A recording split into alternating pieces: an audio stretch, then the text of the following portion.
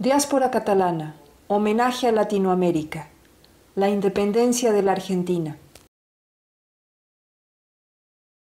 Declaración Unilateral de Independencia, el 9 de julio de 1816. República de la Argentina. Los Miquelets de Cataluña en la independencia de Argentina.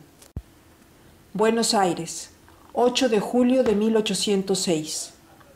Un grupo de comerciantes catalanes residentes en Buenos Aires se reunía semiclandestinamente en casa del alcalde, Martín de Álzaga, para organizar la resistencia a la ocupación británica. Dos semanas antes, el 25 de junio, el 71 primer Regimiento Highlanders, formado por 1.600 efectivos, había desembarcado en Quilmes y había ocupado la capital sin resistencia. Su comandante, el general William Carr Beresford, se había convertido en el primer gobernador británico de Buenos Aires. Aquel grupo de resistentes catalanes crearía el Cuerpo de Migueletes de Cataluña, denominación que remite a los Miquelets, los guerrilleros catalanes, valencianos y mallorquines que habían combatido a favor de la causa austriacista en la Guerra de Sucesión Hispánica, 1705-1715. Tendrían una destacada actuación en las guerras a raíz de la invasión británica del Río de la Plata, 1806 y 1807, pero todavía más decisiva en la Guerra de Independencia, 1810, que culminaría con la proclamación de la República Argentina. Países catalanes. Miquelets, los guerrilleros de la nación catalana. ¿Quiénes eran los catalanes de Buenos Aires? Casi tres décadas antes, 1778, el rey hispánico Carlos III había decretado la liberalización del comercio con las colonias americanas. Y eso significaba que los catalanes, por ejemplo, quedaban autorizados a comerciar con las colonias hispánicas en teórica igualdad de condiciones con castellanos, franceses, británicos y neerlandeses, que habían obtenido aquella concesión de la Cancillería Borbónica de Madrid en 1713 a cambio de abandonar su apoyo a Carlos de Habsburgo en el conflicto sucesorio hispánico 1705-1715. No obstante, los comerciantes catalanes ya habían establecido una ruta estable de intercambio con Buenos Aires en 1756, después de que el rey Fernando VI, hijo de Felipe V, excepcionalmente autorizara la constitución de la Real Compañía de Barcelona, fundada por las clases mercantiles catalanas que se recuperaban del colapso de 1714. Aquellas clases mercantiles emergentes serían el embrión de la colonia catalana de Buenos Aires y se establecerían y se concentrarían en el barrio de Montserrat, situado en el noroeste de la trama histórica de la ciudad.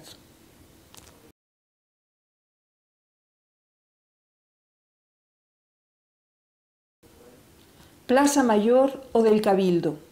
Discusión entre independistas y colonialistas, 1810. Museo Nacional Histórico, Buenos Aires. ¿Qué eran los catalanes de Buenos Aires? La colonia catalana de Buenos Aires estaba formada por comerciantes que exportaban materia prima obtenida en el territorio, principalmente lanas y pieles, y que importaban productos de lujo elaborados en las fábricas del Principat, básicamente tejidos y alcoholes. El Principat de Cataluña, mapa de 1608. Un pentágono formado por Barcelona, Mataró, Reus, Buenos Aires y Montevideo. Un comercio claramente en los dos sentidos, que había enriquecido y consolidado social y políticamente importantes estirpes del barrio de Montserrat.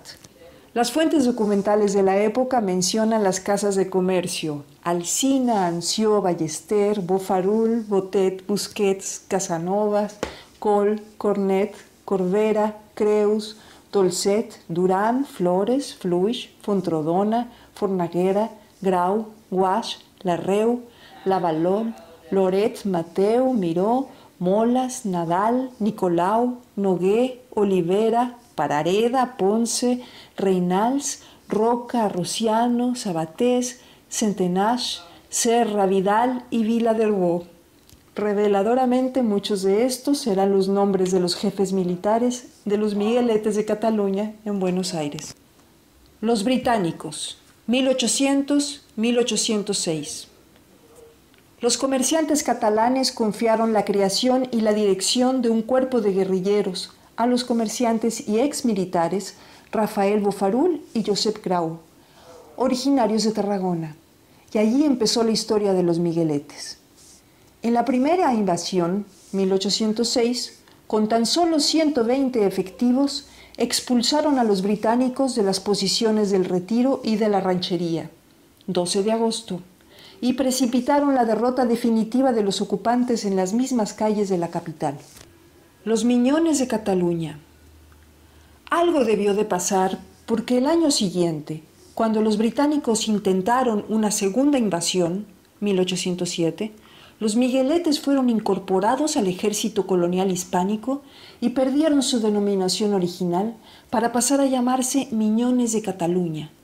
Este detalle es muy revelador, aún más cuando sabemos que el nombre de Miquelets o Migueletes transportaba a un escenario y a una época, Cataluña 1714, que no eran por razones obvias ni del gusto ni de las ganas de la administración colonial hispánica. Y lo es también porque pone de relieve que aquellos catalanes, aunque había transcurrido casi un siglo y el régimen borbónico había hecho todo lo posible para borrar la historia, mantenían una tradición que transportaba la existencia de una nación catalana con capacidad de decisión y de revolución. Eso, sin embargo, no les restaría apoyos. Los intrépidos catalanes expulsarían a los ocupantes del estratégico distrito de Miserere, defendido por las tropas regulares del general Whitelock, y precipitarían la segunda derrota británica, 5 de julio de 1807, en poco menos de un año. La chispa del independentismo.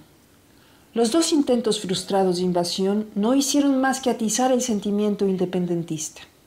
Alejada la amenaza británica, el alcalde de Buenos Aires, el vasco Martín de Álzaga, socio comercial de los comandantes migueletes Domenech Mateu y Joan Larreu, encendería la chispa de la revolución. Y Santiago de Liniers, un antirrevolucionario francés que había pasado de capitán a virrey, respondería con una batería de medidas represivas encarcelamientos, confiscaciones, destierros, disolución e ilegalización de los miñones, liquidarían definitivamente el idilio entre la administración colonial y la totalidad del independentismo, intrépidos catalanes incluidos.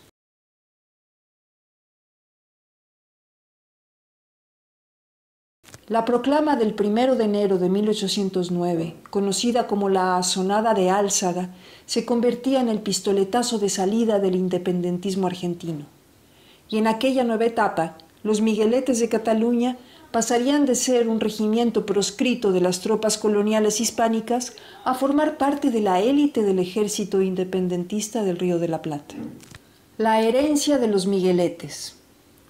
Los Migueletes de Cataluña o el tercio de voluntarios catalanes miñones de Cataluña no superaron, tal como había sido antes, la represión de Liniers y la de su sucesor, Baltasar Hidalgo de Cisneros. Pero en cambio, sus mandos y su tropa, formada exclusivamente por vecinos del barrio de Montserrat, tendrían una actuación decisiva en la guerra de independencia del Río de la Plata, tanto en el campo de batalla como en cuanto a la logística y la inteligencia. Los Miñones de Cataluña. Los catalanes del barrio de Montserrat financiaron con sus propios recursos la creación de las armas de infantería, de artillería y de marina del ejército independentista. La decisiva victoria naval de la Armada independentista sobre la Armada colonial delante de las costas de Montevideo, por ejemplo, que significaría la derrota definitiva de los españoles, no habría sido posible sin la implicación de Joan Larreu, ex capitán de la segunda campaña de Migueletes, que comprometió todo su patrimonio en la creación de aquel grupo. Acta de independencia declarada por el Congreso de las Provincias Unidas en Sudamérica. La trascendencia de los Migueletes. Las victorias militares independentistas en tierra tampoco habrían sido posibles sin la implicación de la comunidad catalana del barrio de Montserrat, especialmente la de Domenech Mateu, exteniente de la segunda campaña de Migueletes, que comprometió todo su patrimonio en la leva y armamento de aquel ejército. Larreu y Mateu serían los primeros vocales, equivalente a ministros, de defensa y de economía respectivamente, de la primera Junta del Río de la Plata, 1810. El primer gobierno independiente del territorio, presidido por Cornelio Saavedra, el precedente inmediato de la República Argentina. Primer alcalde de Buenos Aires, y Felipe Lavalol, hijo de Jaume Lavalol, ex capitán de la tercera compañía de Migueletes, recogería el testimonio de Álzaga y se convertiría en el primer alcalde de Buenos Aires, nombrado por un gobierno independiente. Larreu, Mateo, Lavalol y los Miquelets de Cataluña, por extensión, serían padres de la patria argentina.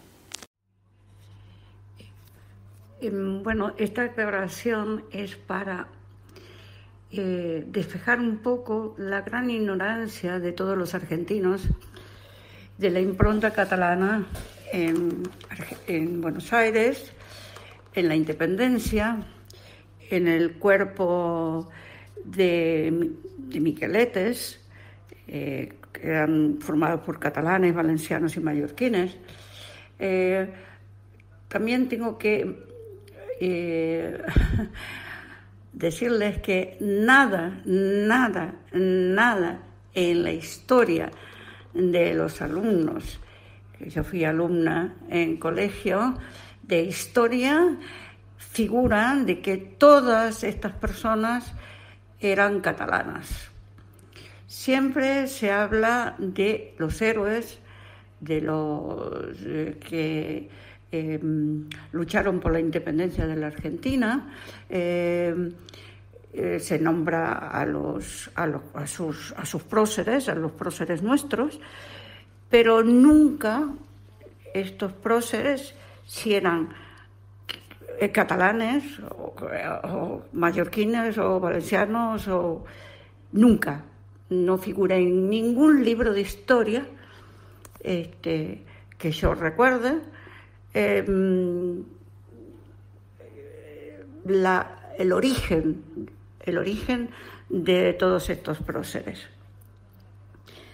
Eh, em, claro, tenemos que contar que esta, lo que yo, lo que yo comencé a saber fue cuando vine a Cataluña. Soy nieta de catalanes, pero bueno, eh, eh, cuando vine a Cataluña, eh, la historia siempre me ha fascinado.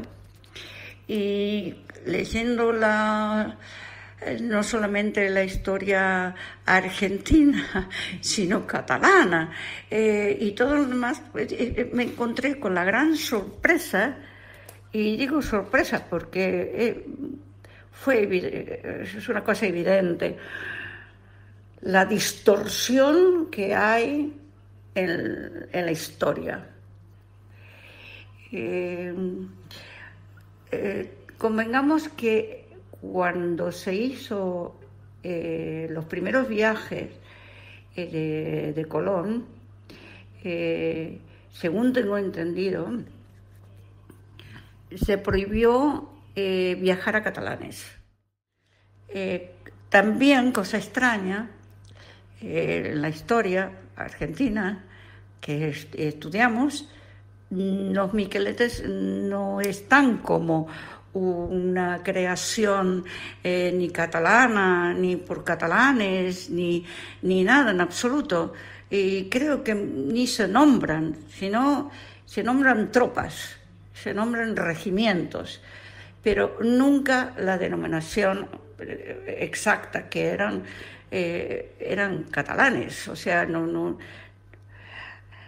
Así que bueno, em, esto eh, se ve reflectido en un barrio que es muy, muy, muy tradicional en Argentina, en Buenos Aires, eh, que es el barrio de Montserrat. El barrio de Montserrat, los nombres de las calles recuerdan eh, el tiempo de las invasiones, el tiempo de, la, de, las, las, inclusive de la represión, porque hubo una represión contra los miqueletes. Y hubo una gran represión porque fue el embrión de todos estos movimientos, una vez repelido eh, la invasión, la primera y la segunda invasión británica, eh, ahí nace el deseo de independencia de Argentina. Este embrión comenzó a crecer y comenzaron a redactarse las primeras, las primeras, mm, digamos, constituciones eh, en Argentina que luego culminarían con la independencia eh, de la corona de España. Quisiera nombrar a todos y los intelectuales, filósofos, pintores, em, escritores, eh, inclusive imprentas, eh, que todas eran catalanas, todas. Me acuerdo que estaba La Espasa y estaba, mm, que era bastante famosa, era muy famosa. Eh, y todos estos intelectuales ya en el siglo, en el siglo XX, huidos de la guerra civil. Eh, ya sabemos que los intelectuales siempre molestan cuando hay una barbarie. Y em, se reunían en la Avenida Corrientes, en una esquina, que había un bar que se llamaba La Academia. Allí se hacían grandes tertulias de toda esta gente intelectual Em, personajes queridísimos, em, respetados y reconocidos. Em, el casal de Catalá en, en Buenos Aires es una obra mm, magnífica que refleja la intelectualidad, eh, la historia de los primeros catalanes, eh, un pequeño teatro que es una maravilla, eh, donde actuaba en aquel tiempo Margarita de y mm, también una reunión eh, de arte, de pintura, de intelectuales, escritores, con un movimiento eh, eh, cultural magnífico. Cuenta también con una, con una biblioteca que yo cuando la vi quedé atónita. atónita. Es increíble lo que hay dentro de esa biblioteca. Eh, también podemos encontrar em, pequeños comercios eh, con apellidos catalanes. Eh, no solamente hay charcuterías, hay este, farmacias, hay gente de campo, em, hay una parte de campo, terrible em, preciosa que pertenece a la familia Joffre. Eh, o sea, eh, no, no han desaparecido eh, los catalanes de Argentina. Y yo creo que siempre será una tierra que acogerá a todos aquellos este, que tengan que tengan ese espíritu eh, que tuvieron sus, antes, sus antecesores, eh, que han dejado tanto, tanto, tanto, tanto en Argentina. Eh, pido perdón porque a veces me pierdo, quisiera decir tantas cosas que, pero creo que lo principal está dicho. Y vuelvo a recalcar, esto, todo esto, se estudian las fechas, se estudian los próceres, vuelvo a repetir, se estudian este, 1810, Día de la Independencia, la creación de la bandera argentina, por Moreno, etcétera, etcétera, etcétera. Pero la palabra catalán, Cataluña, catalanes, no está en ningún libro de historia, al menos lo que yo estudié.